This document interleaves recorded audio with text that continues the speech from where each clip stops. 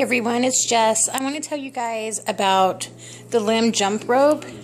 This thing is crazy. It's a high-speed jump rope so you can really go to town on it. I want to show you some of the features. This is what attaches onto the handle, as you can see here. What it is, is it has an entire ball bearing system inside of it that allows it to work better.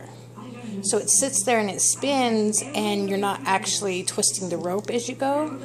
This holds into place, and the rope just goes, so you can just go to town when you're jumping rope.